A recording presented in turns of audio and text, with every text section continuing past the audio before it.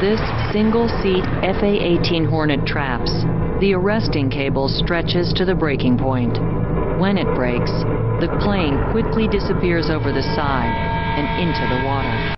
What up, guys? What up, fam? Welcome back to a brand new, a brand new reaction video, man, here on the JT Suits YouTube channel. You guys really liked that first video I did a couple days ago, reacting to the U.S. Navy flight deck.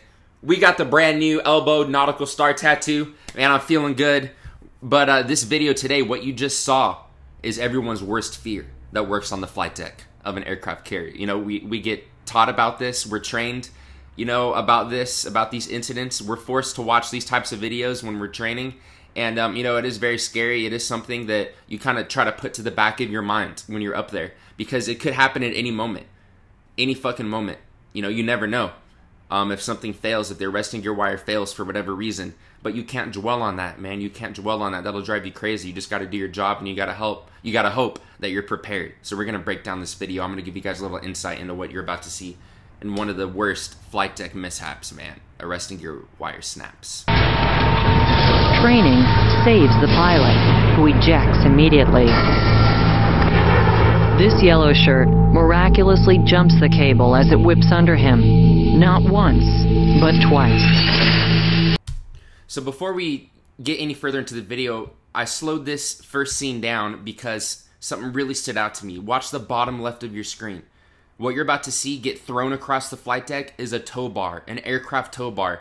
I've moved those things around the flight deck. They're heavy as fuck. You can barely lift it up. And look how that thing just gets thrown across the flight deck.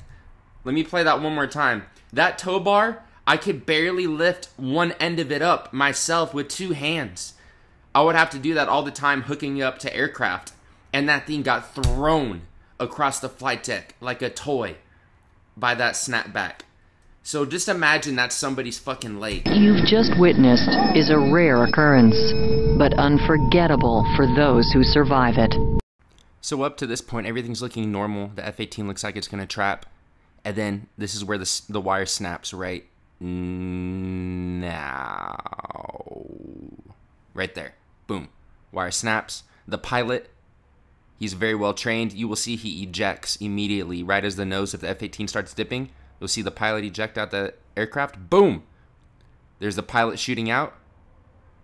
You can see there he gets ejected and his parachute comes out now this next clip is insane. Everyone always sees everyone always is amazed by this. This yellow shirt jumps the wire as it's moving 100 miles an hour. Not only one time he jumps it, but he jumps it again. I don't even know how you would see that. And look, he gets some air too. He barely clears it. That is incredible. Because look what happens, man. This is what's crazy. See that green shirt? That's where I usually stand in the helo hole, and he gets taken out, just destroyed. Same thing as the red, the guy in the red. That is your um, crash and salvage crew, the fire trucks. They both got just taken out. Seven crew members are injured. Three in serious condition are immediately evacuated by helicopter. And the scary thing about this clip is everyone was in their right positions. Everyone was doing exactly as they were told. Everyone was following procedures. There's nothing you can do to avoid that snapback besides fucking miraculous, miraculously jumping over it. You know, the people that we saw, that you saw in the clip getting taken out, they were standing behind the foul line. They were standing behind the red and white line that I tell you guys you'd never cross. They were following procedures. They were in the helo hole. The crash and salvage guy in the red, he was standing right by his fire truck you know, they were doing exactly what they were supposed to do, and there's just nothing you can do about that mishap. So that incident was investigated, and it was found out to be a mechanical failure of the arresting gear machine. I was in the Navy four years active duty, and almost two of those four years I spent on two different aircraft carriers working on the flight deck, and I never experienced a wire snapback, but I did experience several F 18 tires exploding upon landing on the flight deck, which results in shrapnel. I did get pretty fortunate and was never hit by any shrapnel or um, never experienced the wire snapback or any F 18s crashing. But like I said, it's something that you have to just put to the back of your mind, and you still got to go out there and execute, do your job, walk away with 10 fingers and 10 toes. I don't know how I forgot to mention this throughout the whole video, but I served on this same exact ship 10 years after this incident happened. What we just watched happened on CVN 73 in 2003. I was deployed on CVN 73 in 2013. So it's just crazy, you know, how we come full circle and how I was standing in the same exact locations where we saw the green and the red guy got taken out. That's where I stood for fucking six, seven months straight. Mm. Thank you guys so much, man, for all the support. This is going to be wrapping up this breakdown video. You guys have been crushing it. You guys have been killing it on the channel. We're on these grinds, we're on these roads. We're about to hit fucking almost 36,000. I just said thank you for 35,000. Now we're about to hit 36. Pretty soon 40K. Pretty soon 50K. Wouldn't be here without you. Social media below as always. Make sure uh, if you want to help support the channel more in these tough, trying times on YouTube, check out my Patreon below.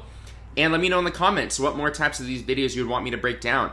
Um, you guys, like I said, have been killing it with the thumbs up, with the commenting, letting me know, you know, the feedback. I really like breaking down these flight deck videos and teaching you guys what you're seeing. I have a lot of passion for the flight deck. It was one of the funnest, craziest experiences that I've got to do in, um, in my life. And I'll never forget it, man. And like I said, we go through a lot of training. We go through a lot of fucking training. So this stuff is ingrained in my brain.